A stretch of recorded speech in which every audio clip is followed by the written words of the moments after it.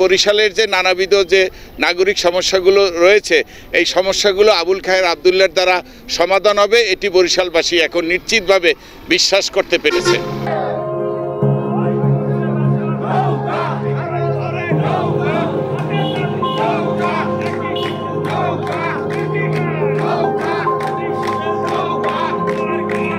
নৌকার পক্ষে আমি তো এই বরিশাল সিটি কর্পোরেশনই আমার বাড়ি।